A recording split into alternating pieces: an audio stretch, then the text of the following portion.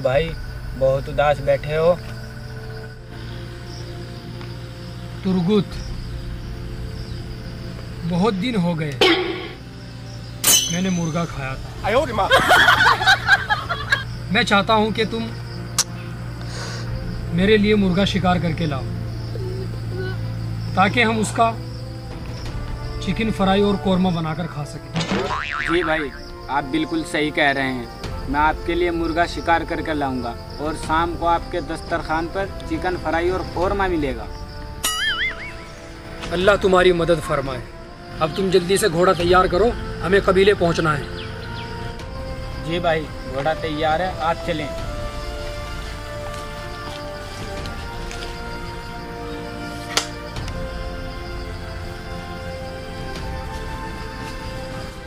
अच्छा तो ये बात है। मुर्गा शिकार करने जाया जा रहा है। अभी जाके सरदार को बताता हूँ।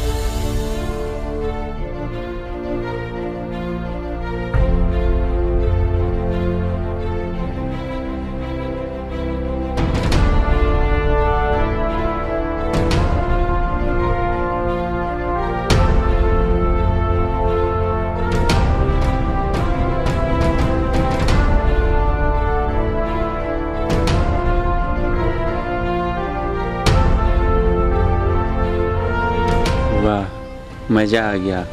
अब तेरा चिकन और कौरमा बना के मैं ही खाऊँगा।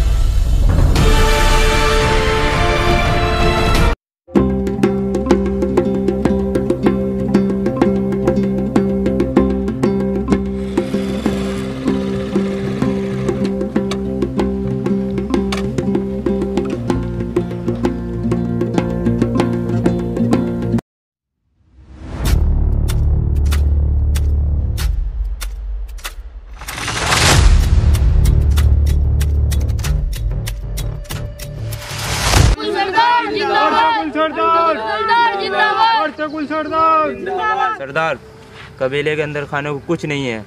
सब सूखी रोटी खा रहे हैं।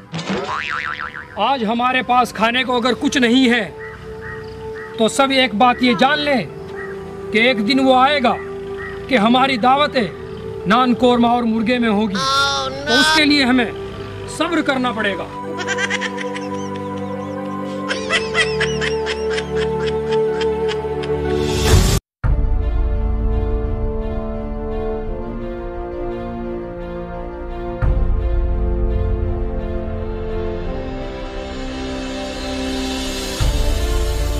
अंदर आ सकता हूँ सरदार। आ जाओ बहादुर सिपाही। आप मुझे परेशान लग रहे हो सरदार। परेशान होने की तो बात है। बचपन का पाला हुआ मुर्गा कैसे चोरी हो सकता है? सरदार मुझे शक है ये अड़तकल के सिपाहियों का काम है। ये क्या बकवास कर रहे हो तुम बहादुर सिपाही? सरदार मैं भी सुनकर आ रहा हूँ। अड़तकल और उनके सिपाही मुर्गा शिकार करने की बात कर रहे थे। अगर ये बात है तो मैं अर्तुगुल के कबीले की ईंट से ईट बजा दूँगा।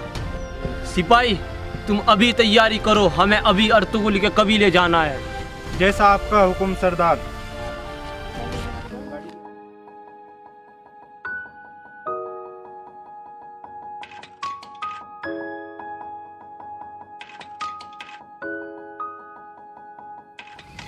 तुरगुत सब तैयारियाँ मुकम्मल हो चुकी हैं। जी भाई आपके हुक्म के मुताबिक सब तैयारियाँ मुकम्मल हो चुकी हैं। सवारी तैयार है सरदार।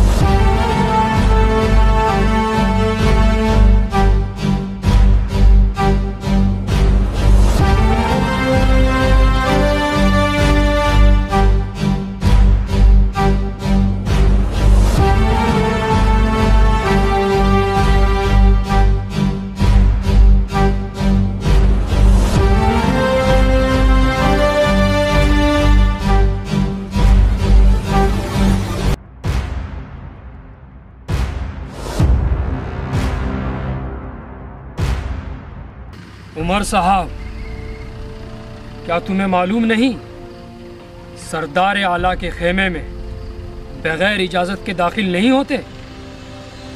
कौन सा सरदार आला जो लोगों के मुर्गे पकड़कर कोरमा और फ्राई बनाकर खा जाए? ये क्या बकवास कर रहे हो उमर? इल्ज़ाम लगाने से पहले उसके अंजाम के बारे में सोच लेना चाहिए। अर्तुगुल साहब, ये इल्ज़ाम नहीं, हकीकत है। क्या तुमने नदी किनारे बैठकर अपने सिपाही तुरगुत को मुर्गा शिकार करने का हुक्म नहीं दिया था? उमर साहब तो ये बात है। आपके जासूस ने हमारी बातें सुनी। लेकिन अगर आपको विश्वास नहीं है तो आप हमारे घर की हंडी देख सकते हैं। क्योंकि आज हमारे यहाँ मुर्गा नहीं साग बना है। अर्तुगुल साहब अगर मुजरिम आपके कबीले के नहीं है तो जल्द तराश करे असल मुजरिमों को। वरना मैं आपकी दावत अपने बेटे के वलीमे में नहीं करूँगा।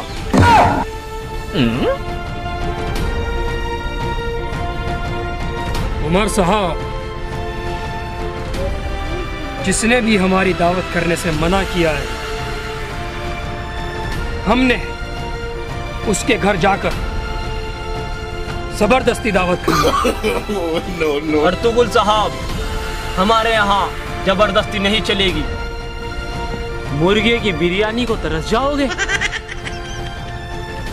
उमर साहब